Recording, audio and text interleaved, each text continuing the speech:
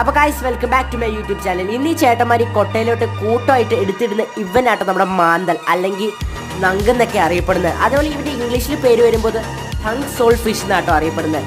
ഇവന്റെ ഇങ്ങനെ പേര് വരാനുള്ള കാരണം നാക്കിന്റെ രൂപത്തിൽ ഇവൻ ഇരിക്കുന്നതുകൊണ്ടാട്ടോ അതുകൊണ്ടാട്ടോ ഇവൻ തങ് സോൾ ഫിഷ് എന്ന് അറിയപ്പെടുന്നത്. ഇവ ഫ്രൈ ചെയ്യാൻ ഏറ്റവും ബെസ്റ്റ് ആട്ടോ. അപ്പോൾ ഒരു വേറെ വീഡിയോ കാണാം. Bye guys